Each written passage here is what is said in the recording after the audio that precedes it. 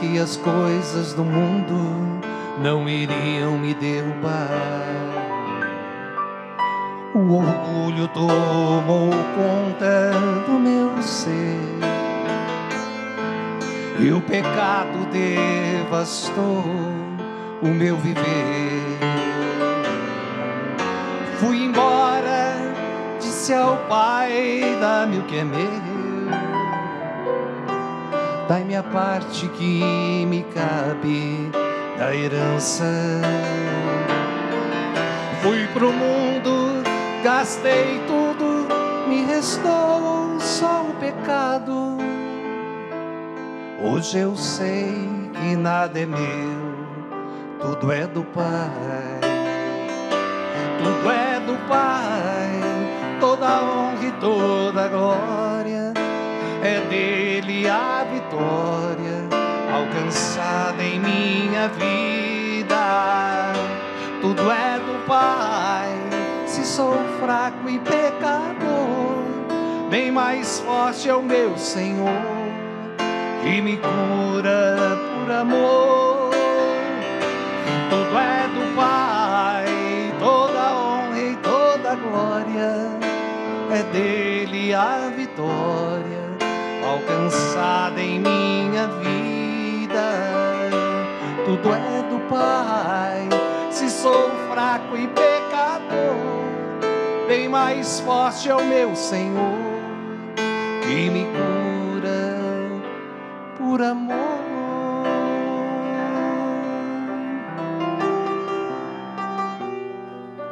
Maravilhoso, maravilhoso, maravilhoso. Carlinhos Marques, seja muito bem-vindo, meu bom irmão. Prazer. Vamos fazer uma madrugada especial de boa música, de espiritualidade, de encontro com a palavra de Deus. São três minutos de um novo dia que está só começando.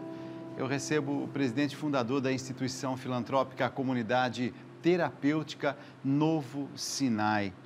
Desde 2005, não é isso? Começamos em fevereiro de 2005. E um olhar para aqueles que estão tentando se recuperar é, das drogas, do Alcoolismo, álcool. né?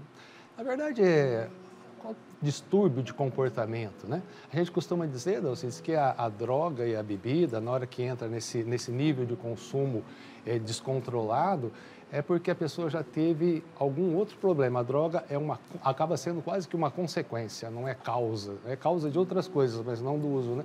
Então, a gente procura tratar o ser humano de forma completa, né? Então, eu costumo dizer lá que as pessoas elas, elas vão para mudar de vida. E um dos detalhes que eles vão mudar na vida é deixar o vício. Onde que é o centro de atendimento de vocês? Nós estamos ali no interior, né? interior de São Paulo, na região de São José do Rio Preto, uma cidade que chama Valentim Gentil.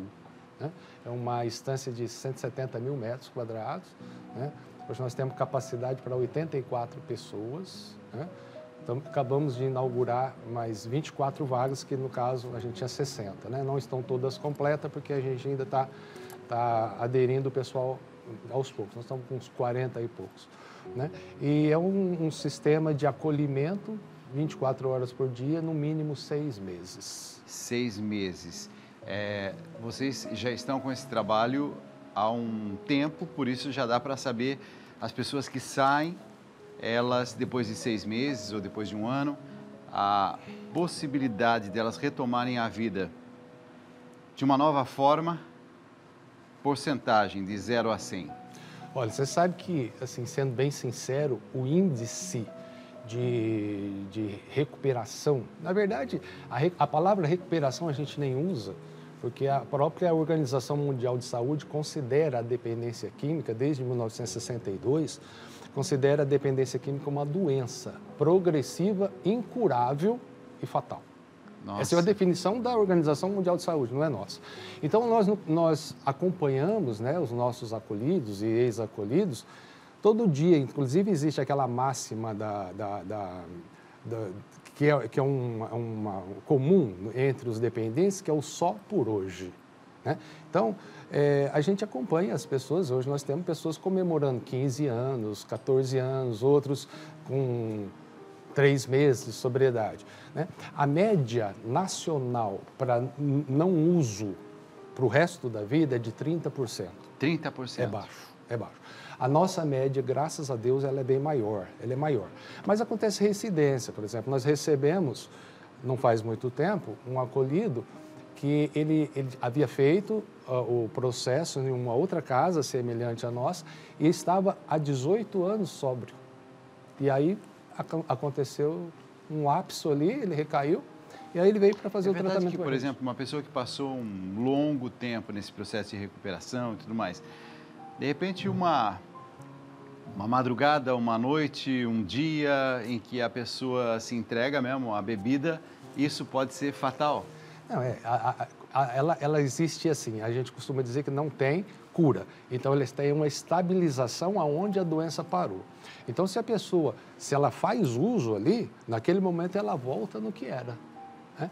Então, é, ela, não, assim, não existe tolerância, não existe para quem é doente da dependência, seja do álcool, seja da droga, não existe limites toleráveis de consumo, é zero. É tolerância zero para qualquer tipo de substância. Então, por exemplo, tem um, posso dar um testemunho rápido aqui. Inclusive, hoje é funcionário nosso, ele estava há 10 anos sóbrio. Problema com álcool e droga. Isso ele conta nas nossas reuniões, porque ele é colaborador nosso hoje. E, e ele estava no shopping com a esposa, e a esposa começou, pô, mas você está aí 10 anos sóbrio, né? Toma um shopping comigo. Né? Aí, não, resultou, relutou, relutou, mas até que aceitou tomar um shopping com a esposa.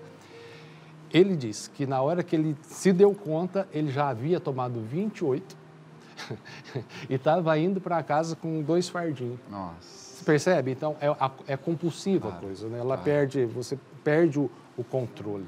Né? Então, esse rapaz, que eu dei o exemplo que a gente acolheu, com 18 anos de sobriedade, a gente nunca pode dizer que ele está curado. Esse outro, que hoje é colaborador nosso, ele ajuda a recuperar os outros. Ele tinha 10 anos de sobriedade e teve esse lapso precisou de uma, sabe, de quebrar a sequência de uso novamente para se reestruturar. Olha, uma madrugada realmente especial, bênçãos, graças e ao mesmo tempo de conscientização, principalmente sobre o uso do álcool. O uso do álcool ah, engana um pouco a gente, né? Porque na questão das outras drogas que são ilícitas, tudo fica muito claro, né? Não pode ser usado, aquele receio, aquele medo, aquela coisa escondida. Mas é, o álcool você compra em qualquer lugar, né? Tudo liberado. Dalcides, eu costumo dizer que veja bem, as pessoas dizem assim, ah, o álcool é a droga, é a porta de entrada para outras drogas e é uma droga liberada.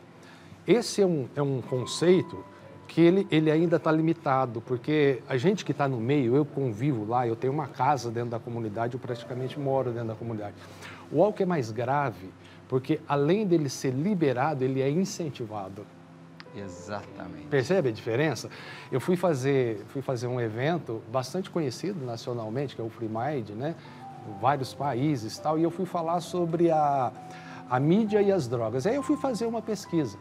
É impressionante a, a, a, a força da mídia em, em, todos os eventos, a força da, da, do, do, produto álcool Sim. na mídia, incentivando. Por exemplo, festas de faculdade né? Então, os colaboradores dos folders tá, são os, os, que vendem bebidas. Sim, sim. Então, assim, ah, mas espera lá, mas é liberado. Não, só liberado não, ele é incentivado. Você, você liga a sua TV para o programa de para o futebol de quarta-feira, você é bombardeado. Agora, espera aí, ninguém está sendo aqui, né? Porque eu tenho muito cuidado com isso, porque eu faço bastante trabalho de prevenção nas escolas, empresas tal, e a gente tem muita resistência. Porque na hora de falar de prevenção de álcool, todo mundo não quer nem conversa, sabe? Porque parece assim, não, mas isso aí. Ah, né? Mas existe uma diferença.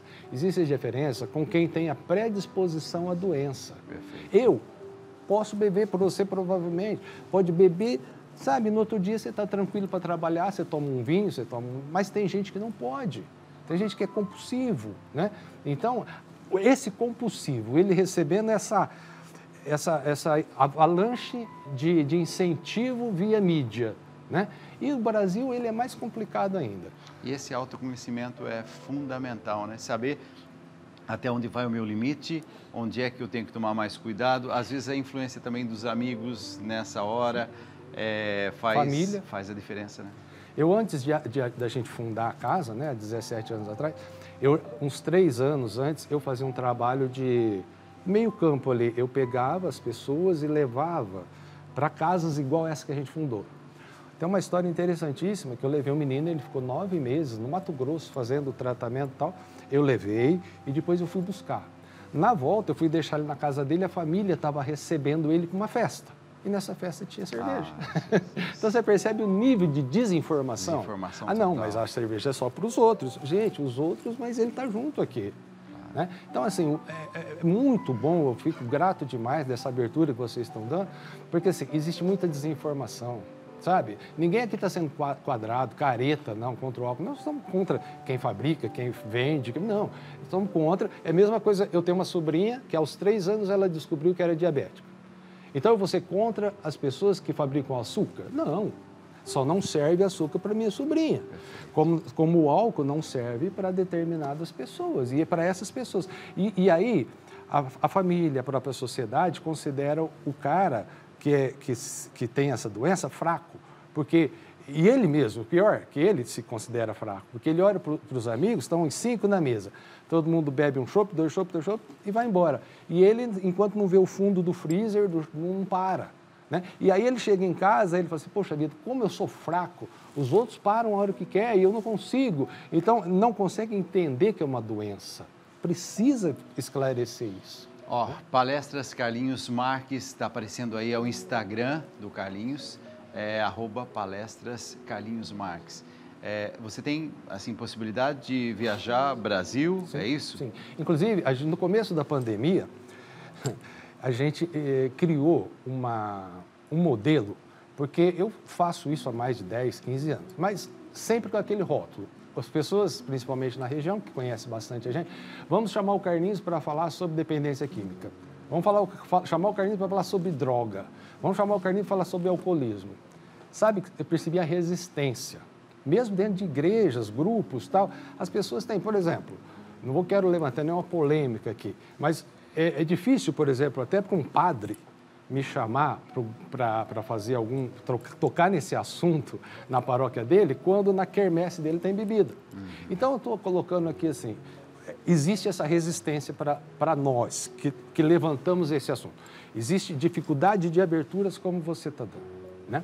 Costumo dizer que as instituições que acolhem dependente químico e alcoólatras são os patinhos feios das associações. Todo mundo quer cuidar de criancinha, todo mundo quer cuidar de doenças de câncer, todo mundo quer cuidar de velhinhos, mas tratar daquele cara que está lá agora na lá, ou que está lá na caída, não, deixa esse aí, ele é o último da fila. Então, essas aberturas é interessante para a gente explicar que eu tinha ainda tem um pouco de resistência de chegar num determinado lugar e juntar 500 pessoas, por exemplo, para falar sobre dependência química.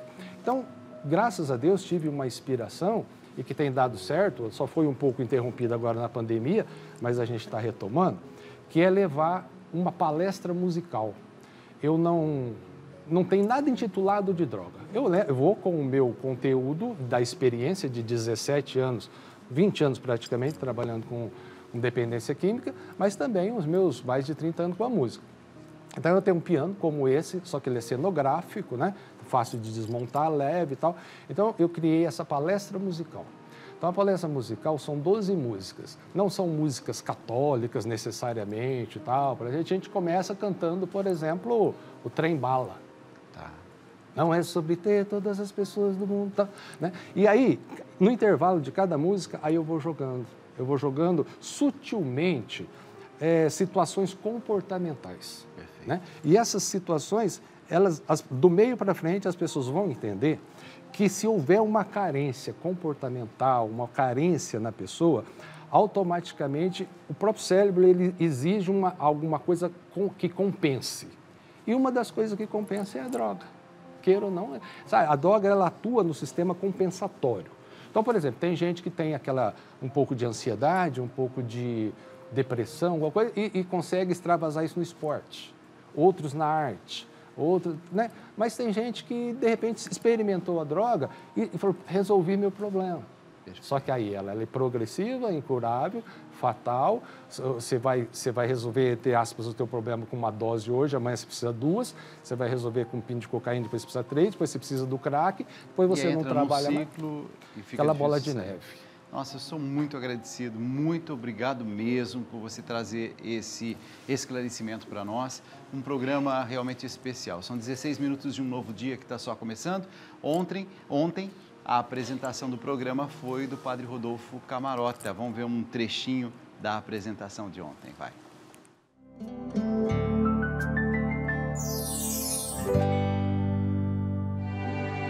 E a nossa pílula bíblica hoje, um trecho lindíssimo, está lá no profeta Isaías, capítulo 55, versículos 10 e 11. Olha só que palavra linda para você hoje. Assim, como a chuva e a neve descem do céu e para lá não voltam mais, mas vêm irrigar e fecundar a terra e fazê-la germinar e dar semente para o plantio e para a alimentação. Assim, a palavra que sair de minha boca não voltará para mim vazia, antes realizará tudo que for de minha vontade e produzirá os efeitos que eu pretendi ao enviá-la. Isaías, profeta, está lembrando você quão importante essa palavra. E, e, uma coisa que eu acho bonito desse trecho é a gente perceber aquilo que a gente tem na Bíblia, quando a gente manuseia uma Bíblia. Às vezes você tem a Bíblia até no celular, né? Hoje em dia a gente tem os aplicativos, a palavra de Deus, as liturgias do dia. A palavra de Deus é a voz do Senhor ela sai da boca, do coração de Deus. Alguns dias atrás a liturgia dizia: guarda no coração para que a tua boca fale o que está antes guardado. Então, se a palavra é a voz de Deus, é o que está no coração de Deus, minha gente. E o Senhor está dizendo ali pelo profeta Isaías: aquilo que eu disser, vai ao teu encontro vem sobre a sua vida, volta para mim, mas antes de voltar, diz o Senhor, produz frutos. Então, hoje, nessa madrugada, nesse dia que a gente está iniciando, abre o teu coração à palavra, pede ao Senhor, ó, fala comigo, Jesus. Fala comigo, Senhor, diante das coisas que você vai fazer, das situações que você tem que viver, das escolhas, decisões. Às vezes você tem que tomar uma decisão e dizer assim: o que, que eu faço diante disso aqui? Como é que eu educo esse meu filho? Ó, estou tendo uma dificuldade de entender o que ele precisa. É a palavra é Deus falando com a gente que vai nos iluminar, vai nos ajudar a perceber o que fica, o que sai da nossa vida, o que eu trago e o que eu afasto de mim. Então, hoje, à luz desse trecho de Isaías, esteja com o teu coração aberto, para que lá no teu coração você guarde todos os ensinos de Deus e os teus lábios proclamem o Senhor. Os teus lábios anunciem a Deus que sempre fala e essa palavra vem como, como esta chuva das graças do Senhor que inunda a nossa vida, nos encontra para que a gente possa seguir do jeito de Deus, do jeito que Deus espera também de nós.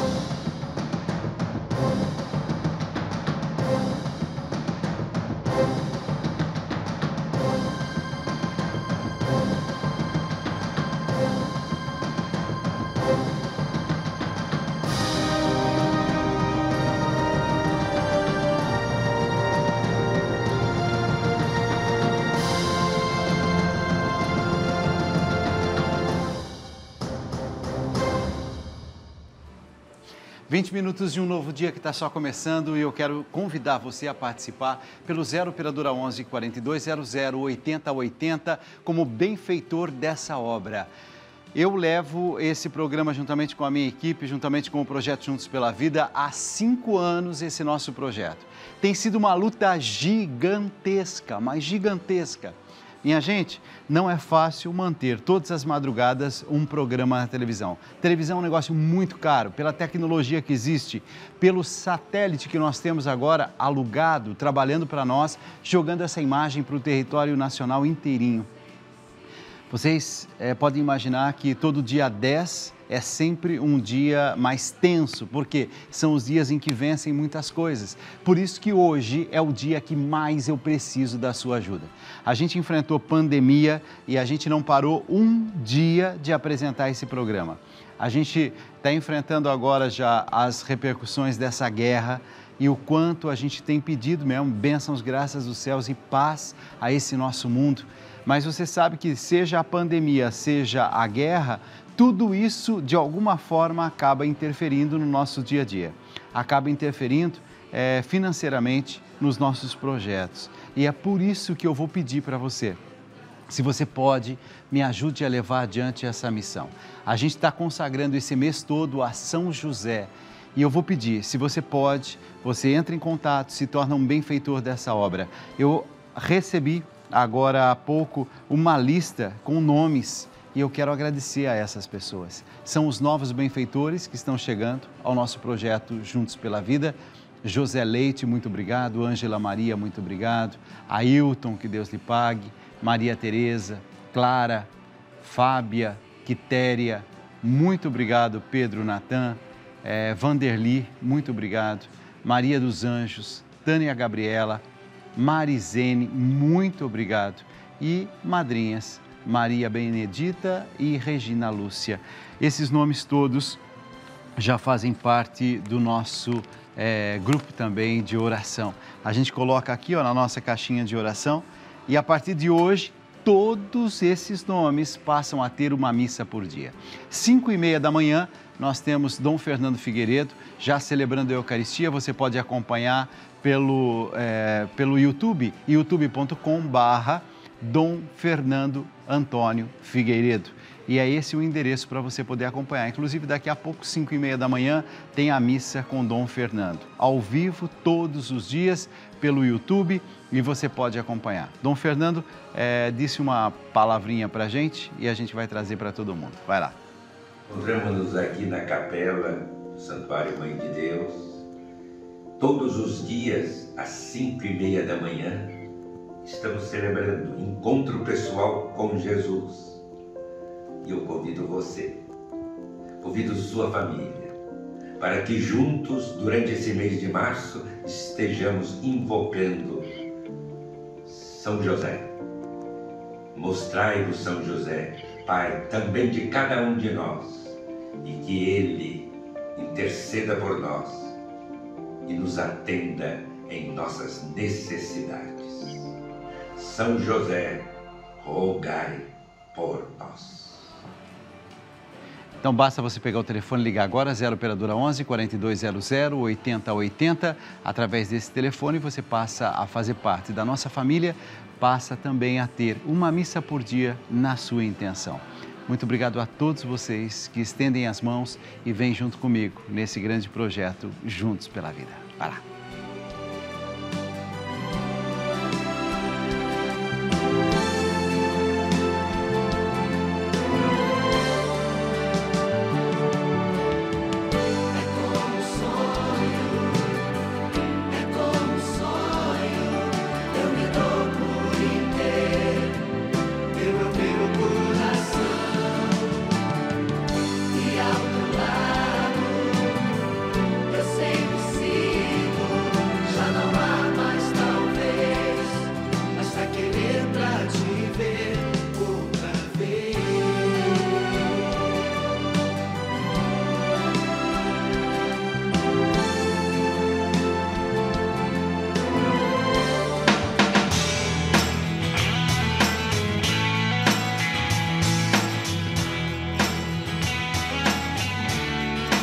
Receber um padre que eu tenho assim uma admiração tão grande, um carinho tão grande, Padre Luiz Erlim, ele que é missionário, filho do Imaculado Coração de Maria, por isso é claretiano, autor de vários livros eh, e livros que são best-sellers, estão entre os mais vendidos desse nosso Brasil, da editora Ave Maria. Padre, seja muito bem-vindo. Bom dia. Bom dia, Dalcides. Que prazer enorme estar aqui Prazer, novamente, conversando com você, conhecendo Carlinhos, trabalho maravilhoso realizado aqui no nosso país, tão urgente, tão necessário. E que bom estarmos aqui nesse mês dedicado a São José, esperando a visita do anjo a Nossa Senhora. E a gente vai conversar bastante essa noite, com certeza, sobre essa espiritualidade Josefina e Mariana. Assim, Josefina E é Mariana, São José. é. é, exatamente. Ó, essas duas espiritualidades, inclusive, são as duas espiritualidades que têm dois livros muito bonitos. Três meses, três meses com São José é um super sucesso em oração pela família. Tá aqui, ó. Esse é um dos livros do Padre Luiz Erlim que a gente tem usado com muita frequência. E também Nove Meses com Maria, que é o livro que eu tenho assim na minha cabeceira e conto todas as vezes, né? Que dia a dia abro, leio. É um relato dos nove meses de Nossa Senhora e com espiritualidade que o padre tem, ele conseguiu, sabe, fazer esse mergulho e nesse mergulho de espiritualidade ele vai trazendo. O que teria Nossa Senhora sentido no início dessa gravidez? O que teria Nossa Senhora já sentido agora que estamos a poucos dias de dar à luz? E é um caminho, um trajeto que a gente faz lindíssimo. Mas tem novidade, né? O que, que é? Parece que é um box, é uma caixa? O que, que é? É, é, foi feito, a editora fez um box com alguns elementos do, do livro Nove Meses com Maria. Então você recebe o box e também alguns outros presentinhos, inclusive uma pulseira dessa daqui, né, Nove Meses Linda. com Maria, para marcar, para a pessoa dizer para o mundo que ela está fazendo a experiência com Nossa Senhora. Vem uma medalhinha, um caderninho para a pessoa anotar as inspirações, as moções que o Espírito faz surgir no coração daquela pessoa que está próxima a Maria, ouvindo de Maria a sua experiência da gestação de Jesus. Então é um box que a gente tem aqui um box para E presentear tem, e você. tem também um VT. Vamos colocar o VT. Vai lá. Faça uma jornada espiritual na companhia de Nossa Senhora. Padre Luiz Erlim te convida a acompanhar toda a gestação da Mãe de Jesus com a novena Nove Meses com Maria. Viva uma experiência única com o box Caminhando com Maria. Nele, além do livro Nove Meses com Maria, você encontrará vários itens que deixarão seus momentos de oração ainda mais especiais. A graça que você tanto deseja poderá ser alcançada com essa novena. Acompanhe os passos da Mãe de Jesus com o box Caminhando com Maria. É impressionante. A editora Ave Maria, quando faz, faz muito bem feito. E esse né? é o seu, Que coisa Dalcides. mais linda. Eu sei que você tem o nove meses na sua Deus, cabeceira, né? tenho. Como você sempre diz. Nossa, que coisa mais linda. Acho que é aqui que abre. Vamos Isso. ver como é que abre. A gente já vai abrindo aqui. Ai, que coisa mais linda. Todo o material, todo o kit completo. Mas Isso. isso, isso pode comprar, qualquer pessoa pode comprar? Qualquer pessoa pode Nas comprar. livrarias, eu vi ali nas É. principais livrarias. Está disponível também no Que site da editora. isso. Nossa, que coisa mais linda. E Ó, vem o livro, né? Que é o. Avemaria.com está aparecendo agora aí na tela da sua TV. Vem o livro, Nove Meses com Maria, que é um livro bem conhecido. um pôster aqui, Tá. é, também com a imagem do nove meses, um caderno de anotação, tem uma carta do autor, que tá essa daí, tem a pulseira, a medalha. Lindo, lindo, lindo, lindo. Eu, eu vou deixar aqui, olha, maravilhoso. Acho que não podia ser um presente mais lindo para mim. Muito obrigado, tá? De coração mesmo. Muito obrigado. Vou deixar aqui, ó, e a gente vai mostrando para que. Ah, tá aqui já. Aqueles que eh, estão nos acompanhando e queiram adquirir, apareceu já aí, né? avemaria.com.br, através desse site que você adquire. Muito obrigado, viu, padre? Eu que agradeço. Carlinhos, posso pedir uma música? Então, nesse momento, Carlinhos escolhe uma música para 30 minutos de um novo dia que está só começando. Deixa Deus falar o seu coração e daqui a pouco, São José, estamos no mês dele, hein? Estamos no mês de São José. E a gente vai falar sobre esse homem humilde, esse homem simples mas esse homem forte, né? Que esteve ao lado de Nossa Senhora e do menino Jesus nos momentos que esse menino precisava ter ao lado um pai adotivo. E foi assim que essa família de Nazaré, até hoje, serve como modelo de família para cada um de nós. Uma vez eu ouvi uma frase de impacto que dizia: é, Hoje existem muitos filhos vazios porque os pais não estão transbordando. Né? É lógico que esse transbordar é o exemplo, né? É o exemplo. Então, num momento assim de tanta insegurança até com relação às famílias, me veio na cabeça agora essa verdadeira obra de arte do Padre Zezinho. Muitas coisas do meu tempo de criança, guardo vivo na lembrança o aconchego do meu lar. No fim da tarde, quando tudo se aquietava, a família se ajuntava lá na alpendre a conversar. Meus pais não tinham nem escola e nem dinheiro. Todo dia, o ano inteiro, trabalhavam sem parar. Faltava tudo, mas a gente nem ligava. O importante não faltava seu sorriso e seu olhar.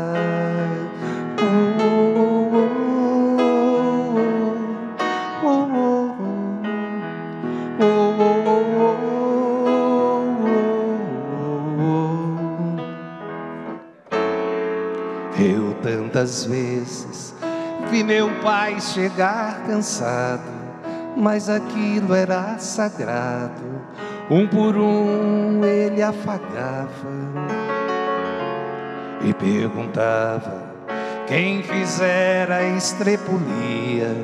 E mamãe nos defendia e tudo aos poucos se ajeitava. O sol se punha, a viola alguém trazia. Todo mundo então queria ver papai cantar com a gente. Desafinado, meio rouco e voz cansada, ele cantava mil toadas, seu olhar no sol poente. Oh, oh,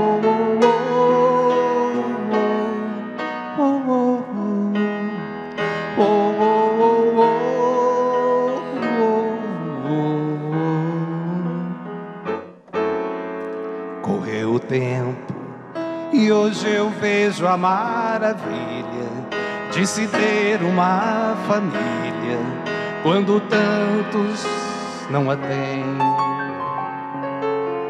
Agora falam do desquite do divórcio. O amor virou consórcio, compromisso de ninguém. Há tantos filhos que, bem mais do que um palácio, gostariam de um abraço e do carinho de seus pais. Se os pais se amassem, o divórcio não viria. Chamam isso de utopia, eu a isso chamo paz. Se os pais amassem, o divórcio não viria. Chamam isso de utopia, eu a isso chamo paz.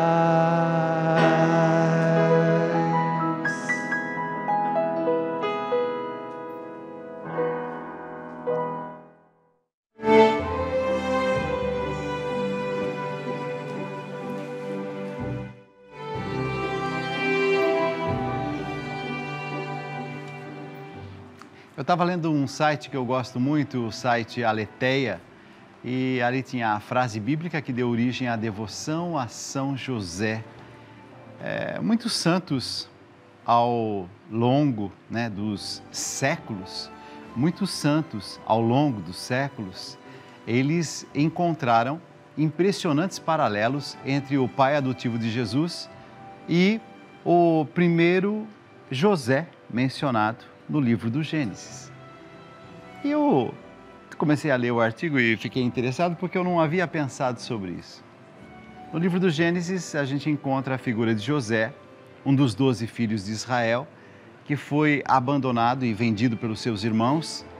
E diz a história que Deus teve compaixão dele e fez com que ele triunfasse. Tanto assim que ele ficou é, governador e a sua família, em tempos de necessidade, foi até o Egito e ali no Egito é, pediu se podia, se podia comprar um pouco de comida, porque eles estavam passando necessidade. O texto no livro do Gênesis, capítulo 41, diz assim: Em seguida houve uma fome no Egito. O povo clamou ao Faraó pedindo pão, e esse disse a todos os egípcios: Ide a José e fazei o que ele vos disser. Você sabe que, com o passar do tempo, eu fui também assim refletindo e fui entendendo o seguinte: essa figura de José traído pelos irmãos, eh, deixado de lado e que consegue dar essa volta por cima e se torna a grande referência para o seu povo. José, ele acolhe os seus irmãos, sofre de ver esses irmãos, a maldade que esses irmãos fizeram com ele, mas ao mesmo tempo é, José dá o perdão a eles. E dando o perdão a eles, eles voltam para casa, trazem o pai, e o pai vem fazer parte desse momento de encontro com o irmão que estava desaparecido, perdido, porque eles tinham certeza que eles tinham matado esse irmão mas tinham, na verdade, é, vendido esse irmão como escravo. Importante nessa história e a gente é, entender o seguinte: um dominicano, Bartolomeu Calvano, ele é, coloca os dois jo Josés, o José do Egito e o José, é, pai adotivo de Jesus. Ele diz assim: assim como através de José, o filho de Israel, Deus proveu alimento para o povo faminto do Egito e sua família. Assim, através de José, o marido de Maria, Deus Pai providenciou as necessidades ao menino Jesus, ao menino Deus. Eu achei bonita essa frase e ela traz um pouquinho daquilo que é a nossa espiritualidade de fé cristã. São José, nossa referência de provedor, né? Quantos pais é, se inspiram em São José. Quantas mães se, se inspiram em São José. São José, rogai por nós. Amém. A família de Nazaré.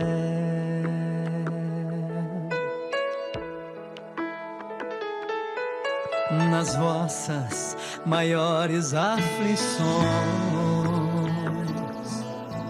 o anjo lhe apareceu e num sonho entendeu que seria o pai do filho de Deus.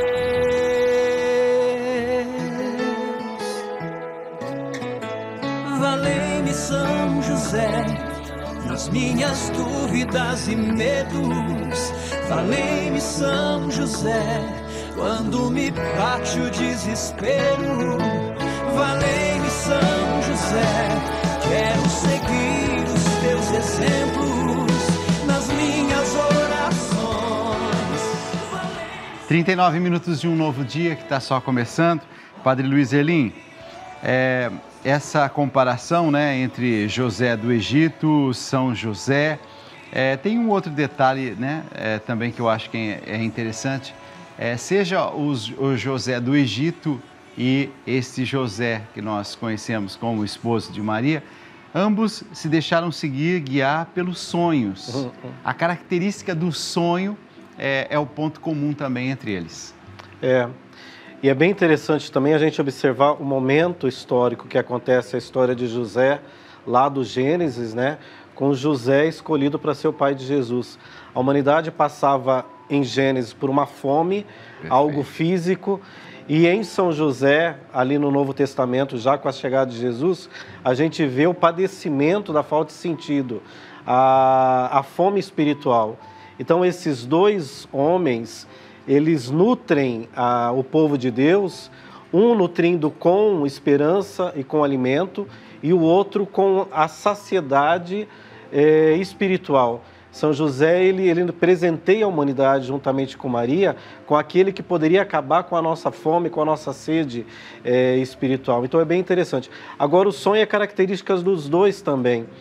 E eu acho interessante a gente perceber que são dois homens muito atentos ao que Deus desejava de cada um deles. E eles percebem Deus falando, inclusive, através de pequenos gestos, pequenos sinais, inclusive através dos sonhos.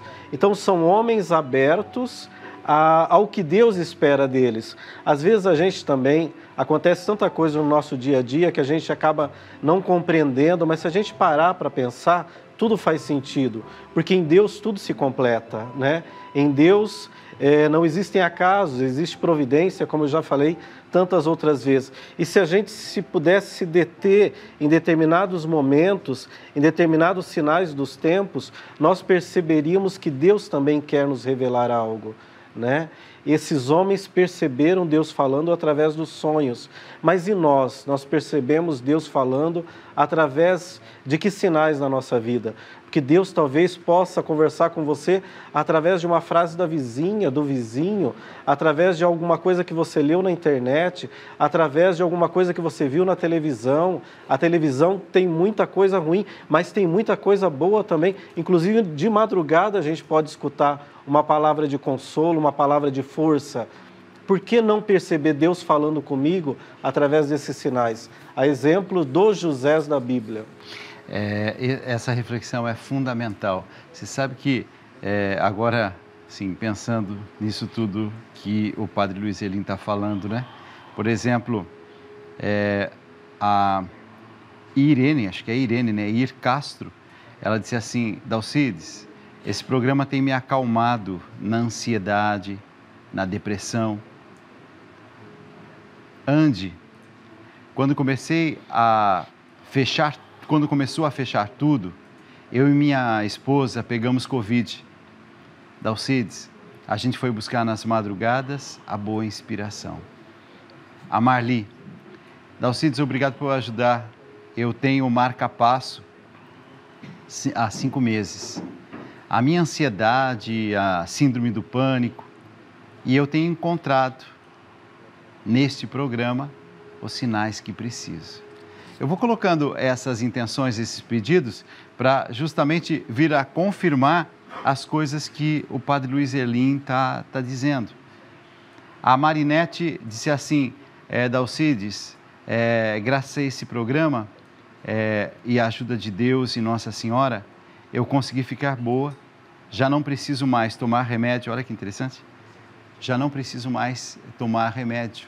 Ah lá, é, só tenho que agradecer, agradecer a Deus. Amém. Que bonito isso. Está aqui. Me ajudou muito nas madrugadas a curar a minha filha da ansiedade e também me ajudou a ter mais resiliência.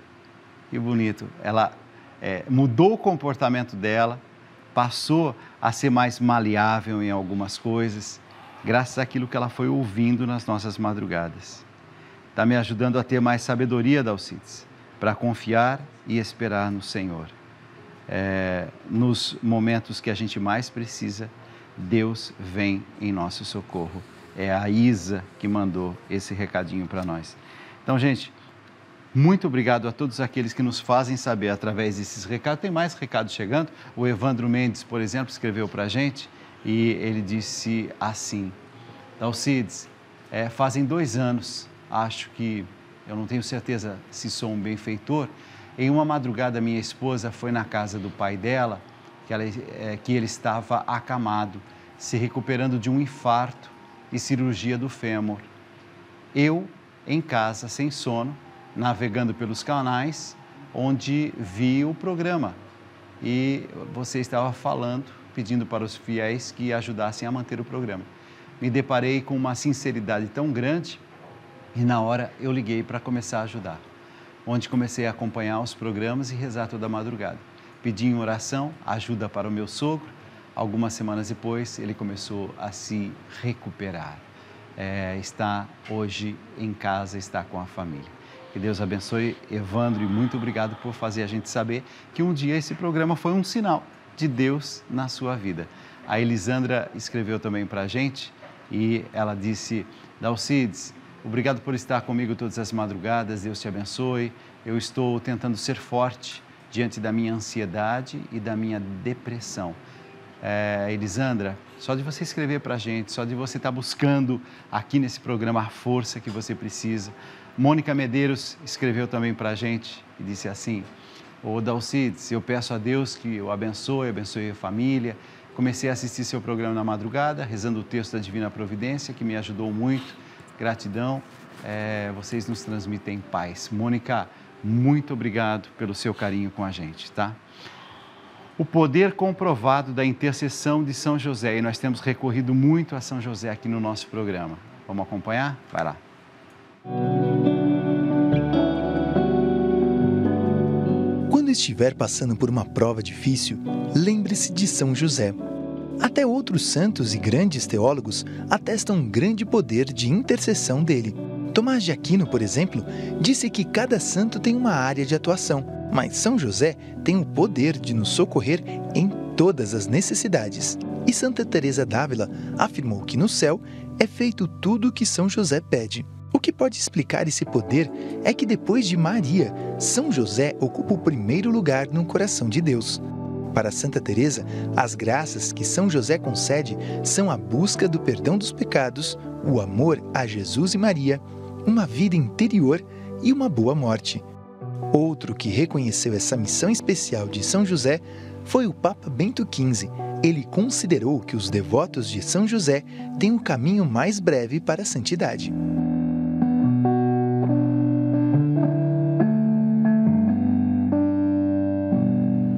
Seja a admiração dos santos em relação a São José. Essa presença forte. Mas esses dias alguém me mandou uma pergunta que eu não soube responder. São José não estava não na crucifixão de Jesus, porque o texto bíblico diz que Maria, junto com outras mulheres, Maria estava em pé diante da cruz, mas não faz nenhuma referência a São José. É, Existem umas controvérsias muito grandes de quando São José morreu, né? Quando ele partiu para a casa do pai ou quando ele de fato deixou esse mundo. Existem alguns que consideram que ele tenha morrido ali depois é, daquele evento em que Jesus se perde no templo, porque a Escritura fala muito pouco a respeito dele. Mas existe uma teoria, e eu me apoio nessa teoria para escrever o Três Meses com São José, que é de são Crisóstomo e também é, um, outro santo que fez a, a tradução da Bíblia né, para o latim. E eles dizem o seguinte: São José faleceu depois que Jesus foi batizado. Isso é muito simbólico. Ou seja, São José tinha a incumbência de proteger a Sagrada Família, proteger o menino Jesus. Mas esse menino cresceu em sabedoria, em graça diante de Deus e recebeu esse presente do Espírito Santo em sua vida. E o Espírito Santo então seria o guardião de Jesus a partir daquele momento. A missão de, de José termina quando ele, Jesus é batizado. E eu achei isso lindo e transcrevi essa, essa inspiração para o livro Nove Meses com uma, é, Três Meses com São José. Tanto é que quem está fazendo Três Meses com São José agora, começou no dia 19 de dezembro e está seguindo até o dia 19 de março, nesses últimos dias a gente acompanha São José já idoso, São José esperando de fato a morte, sentindo que a sua missão tinha sido cumprida. Ontem eu estava conversando com meu irmão e meu irmão falou assim: Nossa, na hora que eu li a, a passagem de São José nessa noite, é, eu estava me sentindo da mesma forma, né? Já cansado, a idade pesando. Então eu estou na mesma sintonia com São José. E é bonito a gente perceber na nossa velhice que de fato a nossa vida valeu a pena. A gente perceber esse cansaço não como o cansaço da limitação física, mas o cansaço do acúmulo de tudo aquilo que a gente fez de bom né, na vida dos outros. Então a velhice, na verdade, não é um castigo, mas um prêmio para as pessoas que foram fiéis a esse Deus. Então eu defendo essa ideia, defendo a ideia de que São José, de fato, faleceu ali, depois que começou a missão pública de Jesus e, sobretudo, depois que ele estava ungido e armado do Espírito Santo de Deus. Muito bonito, é a primeira vez que eu tenho uma explicação como essa. Tem a citação bíblica que diz assim: perto da cruz de Jesus estavam a sua mãe e a irmã dela, Maria, a esposa de Cleofas, e também Maria Madalena. Quando Jesus viu a sua mãe e perto dela o discípulo que ele amava, disse a ela: Este é o seu filho. E em seguida disse a ele: Esta é a sua mãe. E esse discípulo, que nós bem conhecemos, que é João, levou a mãe de Jesus para morar dali em diante na casa dele. Esse, essa é, é um, assim, uma eu já digo até, usando assim, uma prova bastante grande que José já não estava mais, é. né? Porque ele, ele incumbe um dos discípulos de cuidar, de, cuidar de Nossa Senhora. Mas, na verdade, tem também a, a, a beleza eh, poética e, e, metafórica de que, naquele momento também, Maria ela, ela começa a dar a luz à humanidade, né? Então, a, aquele papel que ela receberia depois em Pentecostes como mãe da igreja, ele começa a se consumar ali aos pés da cruz, diante da dor. Ela está perdendo um filho, entre aspas, para ganhar a humanidade como, como mãe dessa humanidade. Perfeito. Ela gemia de dores de ver o filho partir, mas gemia também dessa dor da mulher do Apocalipse, né? Ali que diz que ela é, estava para dar à luz. Então Maria também ela, ela, ela tem essa incumbência. Ela é cuidada, mas ela recebe a missão também de cuidar. Bom, 53 minutos de um novo dia. Se você pode, entre em contato com a gente, se torne benfeitor. Ao longo dessa música que eu vou pedir para o Carlinhos Marques, com um trabalho lindo que ele tem de é, conscientização, inclusive, sobre é, a utilização é, do álcool é, que a gente precisa ter um, um, certo cuidado, porque porque algumas pessoas, segundo aquilo que ele me ensinou hoje, é, algumas pessoas têm uma tendência a exagerar, a não ter o controle, esse autocontrole. Talvez seja alguém da sua família e você passou a entender a partir dessa noite, é uma doença, assim como diabetes, por exemplo, é uma doença que você tem que se cuidar, senão acaba mal. A mesma coisa se dá com o vício do álcool. É uma doença. Se você sabe que tem alguém é, viciado em álcool na sua família, faça de tudo. Se esse alguém está demonstrando os primeiros sinais de que é, quer dar algum passo, quer se libertar, ajude essa pessoa. Olha, uma primeira coisa que você pode fazer: tira essas garrafas todas que tem aí na sua casa, limpa esse ambiente de tal forma que nesse ambiente você vai ver que é, tudo vai favorecer, vai facilitar esse alguém tão querido a se libertar de um vício que talvez tenha levado não só ele à morte, mas tem levado também a essa família a ter tantas e tantas dificuldades. Por isso que esse trabalho lindo que o Carlinhos Marques faz, como fundador da instituição filantrópica Comunidade Terapêutica Novo Sinai, eu queria que você conhecesse nessa nossa madrugada. Entra nessa página que está aparecendo, acesse o site e você pode também conhecer um pouco mais essa casa de acolhida que ele tem é, em Valentim Gentil, noroeste do estado de São Paulo. Olha o que foi meu bom José se apaixonar pela donzela dentre todas a mais bela de toda sua Galileia. Casar com Débora ou com Sara, meu bom José, você podia. e nada disso acontecia. Mas você foi amar Maria. Meu bom José, você podia ter muitos filhos com Maria e seu ofício ensinar, como seu pai sempre fazia. Me lembro às vezes de você, meu bom José, meu pobre amigo, que dessa vida só queria ser feliz com sua Maria.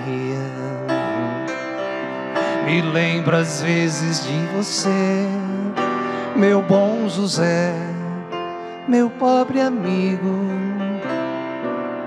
que dessa vida só queria ser feliz com sua Maria. Olha o que foi meu bom José se apaixonar pela donzela dentre todas a mais bela de toda sua Galileia. Casar com Débora ou com Sara, meu bom José, você podia. E nada disso acontecia. Mas você foi amar Maria.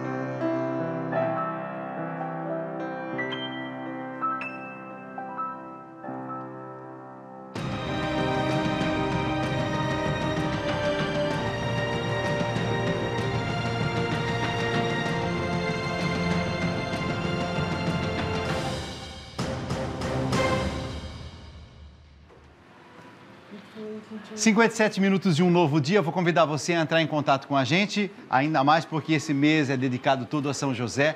Eu mandei uma cartinha para todos aqueles que se tornam nossos benfeitores. Se você se tornar benfeitor, não se esqueça de falar. Eu quero receber aquela cartinha que o Dalcides envia para que essa cartinha chegue até a sua casa.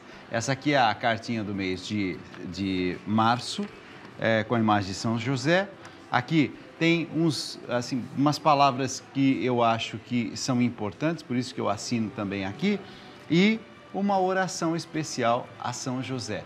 E daqui a pouco, o nosso bom padre Luiz Erlim, que entende bastante sobre a vida de São José, a espiritualidade de São José, vai conduzir essa oração para a gente. Mas eu queria também que você é, que está nos acompanhando entendesse por que é que nós temos um projeto como esse chamado Juntos pela Vida. Vamos para um testemunho que eu acho que você vai entender ainda mais. Fala, Paulo.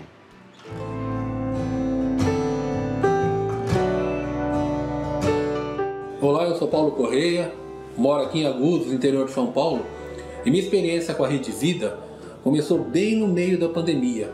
O momento mais difícil da pandemia foi quando eu já vinha com uma falta de fé, uma falta de até de acreditar em Deus. E a pandemia acabou fazendo com que isso se acentuasse. E eu comecei, por causa da pandemia, que estava muito tempo em casa, comecei a acompanhar os programas da Rede Vida. E justamente numa semana que foi a semana mais difícil para a pandemia aqui na nossa cidade de Agudos, que tem mais ou menos em torno de 40 mil habitantes, foi quando morreram na mesma semana sete pessoas. Então a Rede Vida para mim fez muito bem, me trouxe de volta ao caminho de Deus, me trouxe de volta a poder acreditar e levar a mensagem de Deus, entender que a minha missão é levar a, a, a palavra de Deus e levar o amor de Deus. O Rede Vida realmente é um canal da família, ela une a família, ela traz a família para Deus, então a programação totalmente voltada para a família.